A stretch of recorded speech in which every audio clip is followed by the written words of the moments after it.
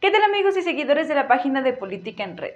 Yo soy Sofía Ceballos y esta tarde les traemos la siguiente información. Luis Cruz Montesinos, presidente del Consejo Coordinador Empresarial Córdoba-Orizaba, dio a conocer que el municipio de Córdoba podrá ser centro turístico en la próxima administración. es el doctor Juan Martínez, que tiene pues, una oportunidad en sus manos para tratar de hacer proyectos. A su vez, argumentó que la ciudad de Córdoba carece de capacitación para los trabajadores, ya que muchos empleadores no ofrecen este servicio a sus subordinados. Gracias por visualizarnos.